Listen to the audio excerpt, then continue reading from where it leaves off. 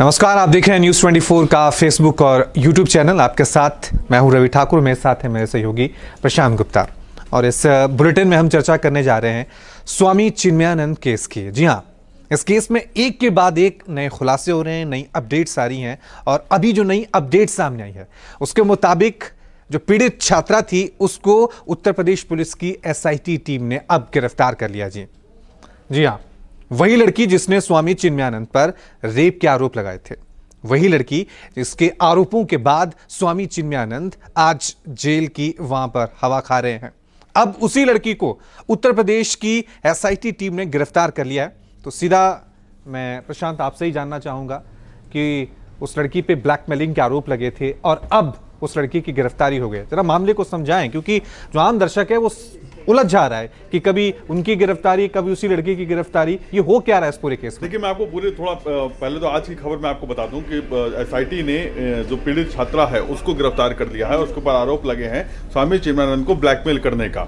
ये आरोप स्वामी चिन्मानंद ने ही लगाए थे एक एफआईआर और दर्ज करवाई गई थी कि उनसे पाँच करोड़ रुपए की फिरौती मांगी जा रही है, ब्लैकमेल किया जा रहा है उनको और इसके सबूत के तौर पे उन्होंने एक वीडियो क्लिप भी एसआईटी को दी थी। उस वीडियो क्लिप में जो पीड़ित छात्रा है और उसके कुछ साथी हैं जो कि पुलिस पहले भी गिरफ़्तार कर चुकी कर चुकी है उनको वो वीडियो क्लिप दी थी जिसकी फॉरेंसिक जाँच करवाई गई। उस फॉरेंसिक जाँच में वो पूरी वीडियो क्लिप एकदम साफ़ सही साबित हुई थी जिसके आधार पर सचिन सिंह जो कि छात्रा का दोस्त है पीड़ित छात्रा का इसके अलावा उसका चचेरा भाई विक्रम और उसका मौसेरा भाई सचिन सेंगर।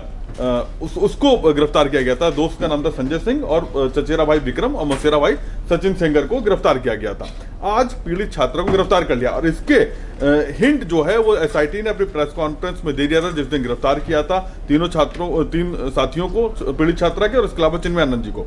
वो उस पर इन्होंने पहले ही इसके हिंट दे दिया था कि कहीं ना कहीं भूमिका है, क्योंकि सचिन के साथ में उसकी लगभग चार सौ चार हज़ार दो सौ बार बातचीत की कॉल रिकॉर्ड्स निकले और ये कहा था कि सबूत अभी उनके पास एसआईटी के टर्म्स टीम के पास जो है वो पर्याप्त नहीं है।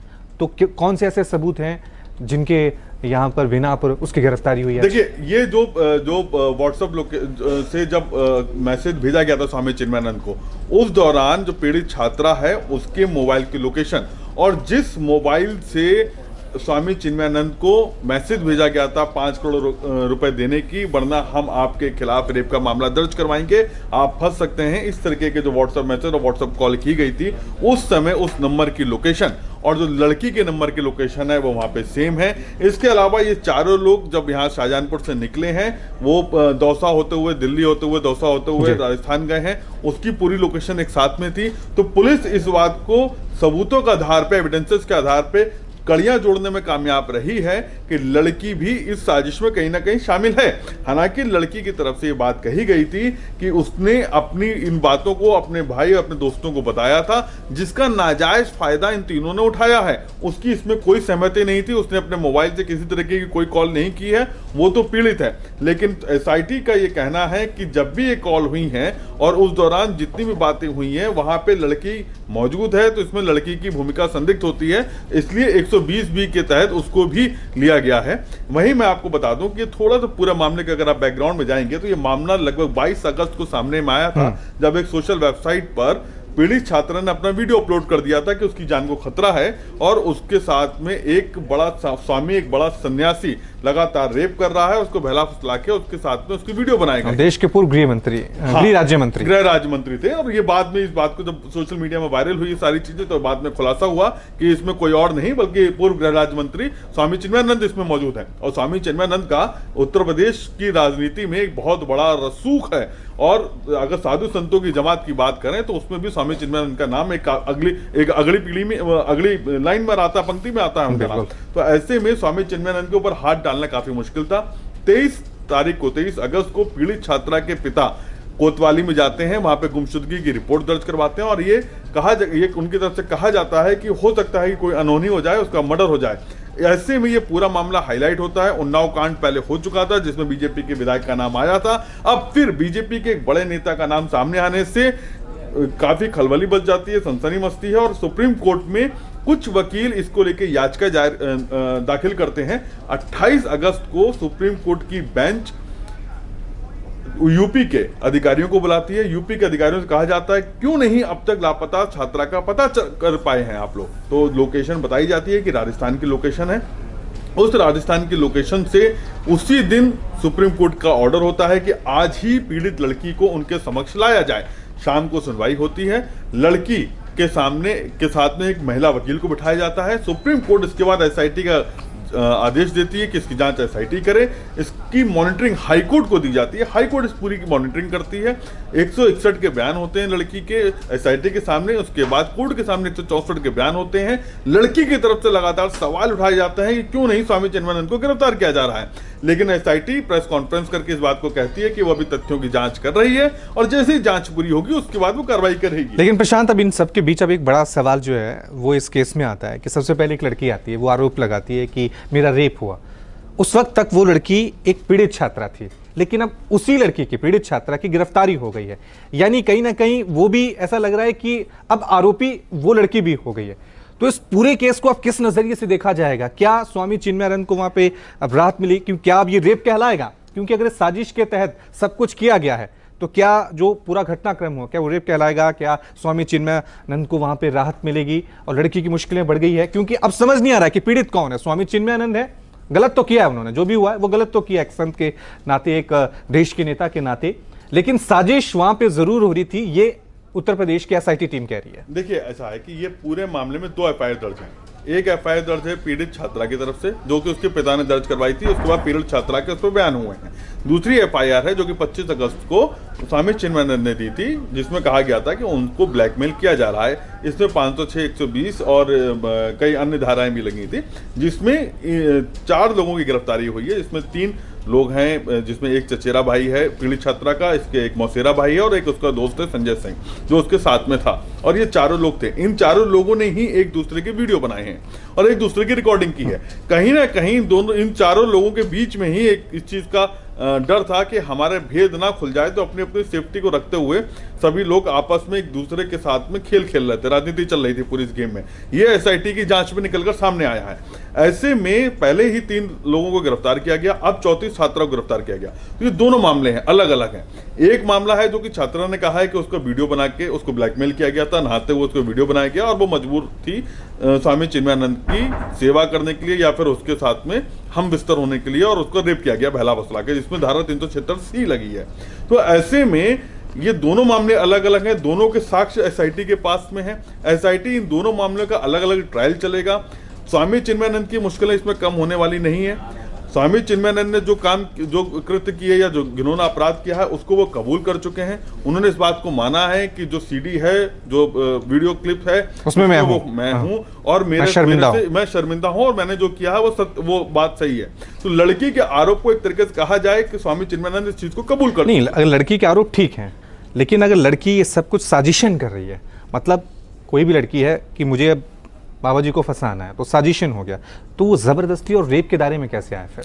देखिए रेप के दायरे में अगर आप देखेंगे कि अगर लड़की की बिना सहमति के उसके साथ में कोई संबंध बनाए जाते हैं और अगर उस पर लड़की आरोप लगाती है या उसके ऊपर दबाव बनाकर कोई संबंध लेकिन साजिश अगर यहाँ साबित हो गई कि लड़की साजिश कर रही थी अगर शुरुआत से ही साजिश थी फिर यहाँ मामला कहाँ जाता हुआ दिख रहा आपको? नहीं देखिए इसमें दो दो तरीके हैं। इसमें पेंच आगे फंसेगा। ये कोर्ट में दलीलों के बीच की बात होगी। जब दोनों पक्षों के वकील आपस में दलील करेंगे तो ज़ाहिर सी बात है यही स्वामी चिन्मयानंद के वकील अपनी तरफ़ से पक्ष रखेंगे कि ये सब कुछ एक साजिश का हिस्सा है जिसमें स्वामी चिन्मयानंद को फंसाया गया था। लेकिन स्वामी चिन्मयानंद अपने ऊपर लगे हुए आरोपों या उन क्लिप से बच नहीं सकते उनसे भाग नहीं सकते हैं। कहीं ना कहीं सामाजिक तौर पर उन्होंने गलत काम किया हम्म। है। और लड़की का आरोप यह है कि वो मजबूर थी। क्योंकि हाँ वही कह रहा हूँ ये मजबूरी है साजिश है ये यहाँ पे कहानी उलझ ये बिल्कुल ये कहानी उलझेगी और ये जब ट्रायल चलेगा तो इसमें पूरी कहानी उलझेगी और इसके ऊपर दोनों ही पक्ष अपने अपनी तरफ़ से बातें रखेंगे। हालाँकि लड़की जो अपनी तरफ़ से शुरुआत से एक पक्ष रखती आ रही है कि उसकी उसकी मजबूरी का फ़ायदा उसके दोस्त और उसके भाइयों ने उठाया है इसमें वो शामिल नहीं है अब ये देखना होगा कि जाँच एजेंसी एसआईटी अपनी तरफ़ से क्या ऐसे सबूत रखेगी जिससे वो साबित कर सके कि इसमें लड़की भी शामिल है क्या ऐसी कोई वीडियो रिकॉर्डिंग उसके साथियों के पास है या फिर ऐसी कोई ऑडियो रिकॉर्डिंग उस साथियों के पास है जिसमें वो ये बात कबूल रही हो कि उसे पाँच करोड़ रुपए चाहिए और अगर ये वीडियो क्लिप दिखाई जाए तो स्वामी चिन्मयानंद पाँच करोड़ रुपए दे सकते हैं या फिर उन्होंने हम्म। ये साजिश रची कि स्वामी चिन्मयानंद को की ऐसी क्लिप बनाई जाए उनको एक हुस्न के जाल में फंसाया जाए और उस जाल में फंसाकर उनकी क्लिप बनाई जाए और उसके बाद उनसे पैसे की डिमांड की जाए। एक केस ये होता है अगर ये साबित करने में कामयाब हो जाता है बचाव पक्ष जिसमें स्वामी चिन्मयानंद इस मामले में तो स्वामी चिन्मयानंद के लिए काफ़ी बड़ी राहत होगी। लेकिन अगर ये पीड़ित पक्ष अगर ये कहने में कामयाब हो जाता है कि स्वामी चिन्मानंद ने पहले उसका वीडियो बनाया, नहाते हुए, उसके बाद उसको ब्लैकमेल किया। तब मजबूरी में उसने ये सबूत इकट्ठे किए हैं। तो स्वामी चिन्मानंद की मुश्किलें बढ़ेंगी। तो ये दोनों केस अलग अलग हैं और ये ज़ाहिर सी बात है कि इसमें कहीं ना कहीं स्वामी चिन्मयानंद का रसूख भी काम कर रहा है क्योंकि उत्तर प्रदेश सरकार की ही एसआईटी है हालाँकि इसको हाईकोर्ट मॉनिटरिंग कर रहा है लेकिन कहीं ना कहीं उनका रसूख है कि वो दो दिन जेल में रहते हैं और उसके बाद तुरंत पीजीआई में शिफ्ट हो जाते हैं। इससे पहले भी पता होगा आपको कि एक का जिस दिन लड़की ने बयान दर्ज करवाया था उसके तुरंत बाद वो शुगर और हार्ट की बीमारी का बहाना बनाते हुए शाहजहानपुर के मेडिकल कॉलेज में भर्ती हो गए थे और अब फिर से वो पीजीआई में अपनी सुविधाओं का बुक कर रहे हैं। तो कहीं ना कहीं उनका रसूख और जो उनकी राजनीति में जो उनकी पकड़ है, वो दिखने को साफ़ मिल रहा है। हालाँकि पीड़ित पक्ष यही, जो पीड़ित लड़की है, वो लगातार इस बात के आरोप उठा, लगा रही है कि वो अपनी सत्ता, अपनी पावर का उपयोग करके इस पूरे मामले को डायल्यूट कर रहे हैं। लेकिन एक सवाल और प्रशांत अब पूरे इस केस को देखकर उठे कि हमेशा इस देश में जब भी किसी लड़की के साथ किसी तरह का अत्याचार होता है, किसी तरह का जुल्म होता है तो हमेशा पूरा देश उसके साथ खड़ा होता है। हमेशा लड़की का पक्ष जो है वो पहले लिया जाता है। लेकिन यहाँ पे अगर कहानी उल्टी हो गई, जो ब्लैकमेलिंग के आरोप लगे हैं लड़की पर, अगर वो साबित हो गए, फिर आपको लग रहा है कि फिर कहीं ना कहीं जो कहा जाता है कि कुछ लोग कानून का बेजा इस्तेमाल करते हैं लड़कियों के पक्ष में, जो ज़्यादा हमारे देश ने कानून को तवज्जो दी है लड़कियों के पक्ष में, उसका भी लोग गलत फ़ायदा उठा रहे हैं। देखिए बिल्कुल ये सवाल तो उठेंगे ही, लड़के के ऊपर और लड़के के जो दोस्त हैं, उनके ऊपर ये सवाल तो उठेंगे और सवाल उठ ही रहे हैं। उठेंगे नहीं उठ रहे हैं इस समय सवाल। लेकिन अ, सवाल ये भी है कि क्या स्वामी चिन्मयानंद जो की उम्र सत्तर पचहत्तर साल के सत्तर से ऊपर क्रॉस कर चुके हैं पचहत्तर साल के होने को आ रहे हैं क्या उनको एक बाईस साल बीस साल की लड़की से इस तरीके के कृत्य करने चाहिए? सवाल यहाँ पे उठते हैं और शायद यही वजह है कि अखाड़ा परिषद ने बहिष्कार कर दिया स्वामी चिन्मानंद को उन्हें संत स्वामी समाज से उनको बहिष्कृत कर दिया गया है। तो सवाल तो मॉरलिटी का मॉरलिटी को लेकर है। नैतिक तौर पर सामाजिक तौर पर दोनों पे उठ रहे हैं। स्वामी चिन्मयानंद पे भी उठ रहे हैं लड़की पे भी उठ रहे हैं। और स्वामी चिन्मयानंद पे सवाल तो इसलिए उठ रहे हैं कि एक आदमी संत बनता है। लोगों की नज़रों में बहुत बड़ा महात्मा, भगवान बनता है। फिर वो देश का गृह राज्य मंत्री भी बन जाता है। हमारा देश का सिस्टम कितना कमज़ोर हो गया है। ऐसे लोगों को जो रेप के आरोप लगते हैं, ऐसे लोग जो दूसरे धंधे करते हैं, उसके बिना पे, इतने बड़े पद पे पहुँच जाते हैं। हमारे समाज के सोच पे भी एक सवाल उठाते हैं। जी, बिल्कुल।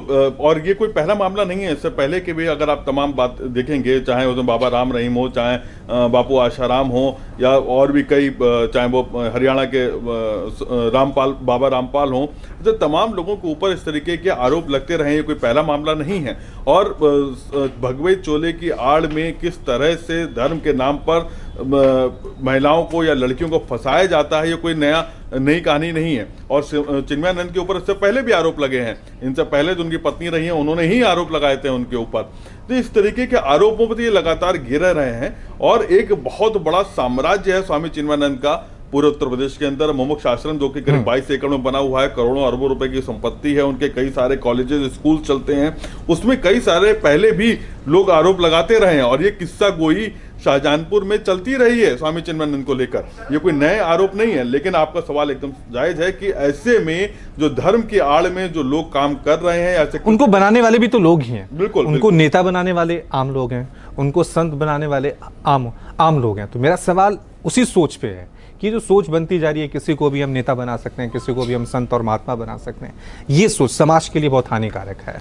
बिल्कुल और ये यही वजह है क्योंकि धर्म और जाति एक ऐसी अफीम की तरह है, एक अफीम की तरह होते हैं ये, कि जिसकी आड़ में लोग अपनी दुकान चलाते हैं और उसको फिर वो राजनीति में कन्वर्ट करते हैं। राजनीति में उसका लाभ लेते हैं क्योंकि धर्म की आड़ में एक उनका बहुत बड़ा फ़ैन फॉलोइंग बनती है उनके फॉलोअर्स बनते हैं। राजनीतिक पार्टियाँ भी उसका फ़ायदा उठाती हैं क्योंकि उनको मालूम है कि इसकी धर्म की आड़ में ये वोट जो है वो उनकी तरफ़ कन्वर्ट होगा। और ये इसमें एक पार्टी कोई नहीं शामिल है। इसमें अगर आप देखेंगे तो आगरा में जब कांड हुआ था जिसमें दो पुलिसकर्मियों की मौत हो गई थी एक डीएसपी की मौत हो गई थी उस पर सपा के ऊपर आरोप लगे थे कि सपा ने उनको पूरी तरह से आश्रय दिया हुआ था। अगर ऐसे ही आप देखेंगे राम रहीम को लेकर तो राम रहीम के ऊपर भी कई सारे पोलिटिकल पार्टी ये मामला भी अगर सुप्रीम कोर्ट नहीं पहुँचता तो शायद उस तरह से कार्रवाई नहीं होती जिस तरह से भी हो रही है। बिल्कुल बिल्कुल। अगर ये सुप्रीम कोर्ट ने खुद संज्ञान ना लिया होता या जो वकीलों ने यहाँ पे अपनी बात ना रखी होती हाई कोर्ट इस तरीके की मॉनिटरिंग ना कर रहा होता तो शायद स्वामी चिन्मयानंद शायद लड़की की एफआईआर ही दर्ज नहीं होती क्योंकि पहले लड़की के पिता ने शिकायत दी थी लेकिन एफआईआर जो पहली दर्ज हुई है वो चिन्मयानंद की दर्ज हुई है जिसमें ब्लैकमेलिंग की बात कही गई है जिसमें पाँच करोड़ रुपए की फिरौती मांगने की बात कही गई है। सुप्रीम कोर्ट के दखल के बाद ही लड़की की एफआईआर दर्ज हुई है। तो आप ये देख सकते हैं कि सिस्टम क्योंकि इनकी रसूख इतना ज़्यादा होता है, सत्ता में इनकी दखल इतना ज़्यादा होता है कि पुलिस प्रशासन इनके इनके इर्द गिर्द घूमता है, इनके खिलाफ कार्रवाई करने की सोच नहीं सकता, क्योंकि उनको मालूम है कि कार्रवाई करेंगे तो उसका उल्टा खामियाजा उनको भुगतना पड़ेगा। चलिए, इस चर्चा में अभी के लिए इतना ही। और बड़ा सवाल यही है, क्योंकि स्वामी चिन्मयानंद पर रेप के आरोप लगे हैं, जिस लड़की ने आरोप लगाए, उस पर ब्लैकमेलिंग के आरोप लगे हैं, और ये दोनों उत्तर प्रदेश की एसआईटी टीम को अब कोर्ट में साबित करने हैं। दोषी कौन होगा, ये आने वाला वक्त बताएगा। बहुत बहुत शुक्रिया।